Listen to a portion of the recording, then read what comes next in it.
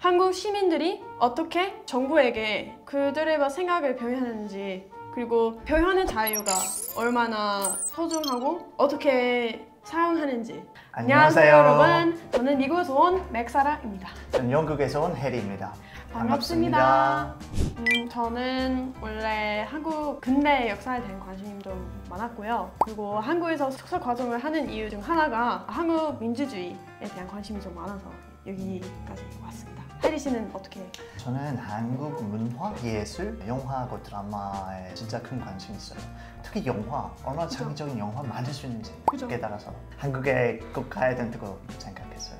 저 지금 서울대학교 정치학과 입학을 했는데요. 제가 연세대에서 공부하고 있었을 때 2016년 탄핵이 있었죠. 촛불 시위에 대해서 들었을 때 사실 저 외국인이라서 이- 이런 그런 거 참여하면 안 되고 그냥 뭐 참여할 관심이 없는데 어, 이거 한국 역사에서 아주 중요한 순간일 거라고 생각했으니까 그냥 한번 가서 어땠는지 알아, 알아봤어요. 그리고 아마도 태어났을 때부터 아마 죽을 때까지 그렇게 많은 사람들이 다 한 곳에 모여서 평화롭게 자기의 생각을 표현하는 그런 모습을 다시 보지 못할 것 같아요. 그거 봤을 때 정말 막 감동을 받았고 인상이 되게 깊었어요. 그래서 그거 생각을 하면서도 한국에서 뭐 석사 과정을 할까 처음으로 생각하게 되었습니다.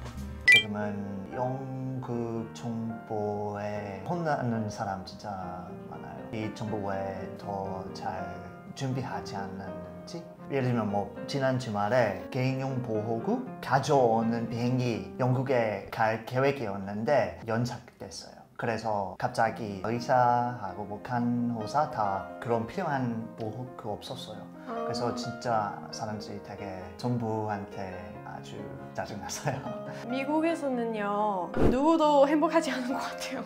음. 어떤 사람들 뭐 사회적 거리를 두기 싫어서 화나는데 어떤 사람들은 다른 사람들이 사회적 거리를 두고 있지 않아서 그 사람들에 대해서 화나고 있고 뭐 어떤 사람들은 뭐 정부한테서 받는 emergency fund 그 너무 적어서 화나는 건데 어떤 사람들 아그 이거 나중에 우리 세금 낼때큰 문제가 될 거라고 아 진짜 아 진짜 아 진짜 huge mess. 아 아유 좋은 말을 못 할 것 같아요. 아 근데 다행히 미국에 있는 개인들이 뭐 맞게 뭐 행위하는 사람들은 있긴 있어요. 그 예를 들면 요즘에 그 미국에서도 마스크 끼는 것에 대한 생각이 갑자기 변했어요. 드디어 아 이거 뭐 계속 몇 개월 동안 미국에 있는 질병관리본부가 계속 아 마스크 쓰지 말라고 이- 계속 이렇게 하고 있었는데 갑자기 아 사실 마스크는 도움이 돼. 오, 아, who knew? 그래서 개인들의 행동이 대부분의 사람들 잘 하고 있다고 생각하는데 우리 대통령 뭐 실망스러운 것도 있습니다. 근데 맨날 바뀌고 있으니까 뭐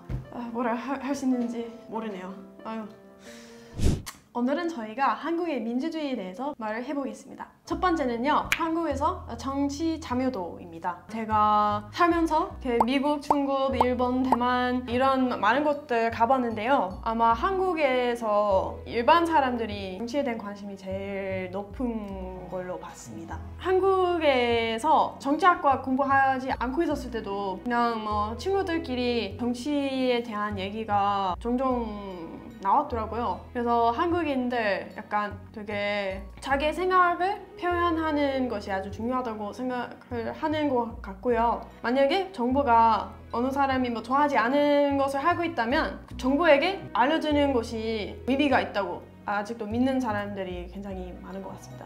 예를 들면 미국에서 어떤 사람들은 그냥 아나 나 이거 사실 별로 좋아하지 않은데 뭐 어차피 아무나도 내 말을 듣- 듣지 않을 거니까 그냥 말을 안 하는 게 낫다고 보는 사람들이 있는데 한국에서는 통계적으로 이, 이렇더라고요. 한국에서 정치 참여도가 특히 주변에 있는 나라들보다 훨씬 높은 거예요. 그거 사실이에요. 개인적인 뭐나 이렇게 봤다고 생각하는 거 아니라 이것을 공부하는 전문가들도 인정하는 사실입니다. 아마도 뭐 한국 사람들이 진짜 정부의 방향 음. 바꿀 수 있다고 생각하기 때문에 왜냐면 몇몇 영국 사람들은 투표 아무리 많이 해도 정부가 다 똑같다고 생각해요. 아, 아니면 뭐 네, 저 어제 무슨 기사를 읽고 있었는데 나의 투표가 뭐 의미가 있다고 믿는 한국 사람들은 뭐 60 몇 퍼센트라고 들었어요. 그리고 이거 100%가 아니지만 사실 다른 국가들보다 더 높은 거예요. 한국 정부도 완벽하다고 말할 수 없지만 한국 시민들이 어떻게 정부에게 그들의 뭐 생각을 표현하는지 그리고 표현의 자유가 얼마나 소중하고 어떻게 사용하는지 알고 있으니까 그렇게 하는 것 같아요. 두 번째는 표현의 자유입니다.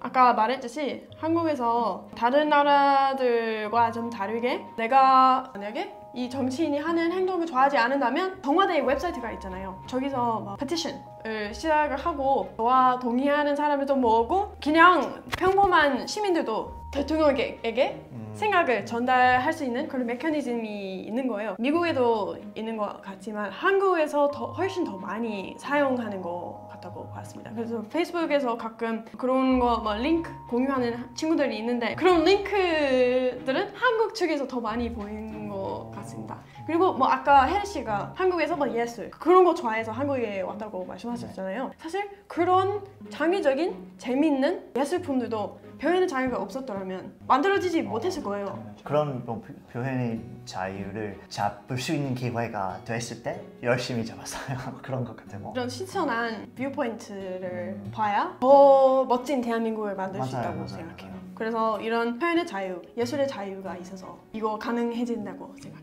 세 번째는 시민 의식입니다. 어, 아까 제가 뭐 촛불 시위에 대해서 말해봤는데요. 제가 알기로는 200만 명 정도 광화문 쪽에서 막 다 모여 있었는데 한 명도 죽지 않았고 한 명도 뭐 폭력이 없었다고 들었어요. 근데 사실 이거 미국인들이 시위하러 가고 싶지 않은 이유 중 하나인 것 같아요. 미국에서 또라이 한 명만 있으면 다 피해를 입을 수 있으니까 그거 뭐 걱정해야 되잖아요. 근데 한국에서 우리 아무리 동의하지 않은데도 절대 저를 때리지 않겠죠. 네, 사실 저도 뭐 어렸을 때 영국에서 그런 이미지도 있었어요. 데모라는 말을 생각했을 때 음. 진짜 뭔가 화나는 사람, 말로 화나는 사람도 생각했고 진짜 뭐 폭력적으로 화나는 사람도 생각했어요. 근데 그거. 미국에서 사실입니다. 야, 그 영국에서도 어느 정도 사실이에요. 저도 당연히 뭐 민주주의를 공부하는 사람으로서 시위하는 그 권력을 보호해야 된다고 생각을 하는데 아무래도 다른 사람들의 안전 피해 주면 안 된다고 생각해요. 영국 사람들 중에 폭력하라고 하는 사람도 있어요. 반대편 사람들을 그 사람들한테 펄 치지 않으면 이 상황을 바꿀 수 없다고 생각하는 사람들이 있어요. 근데 진짜 아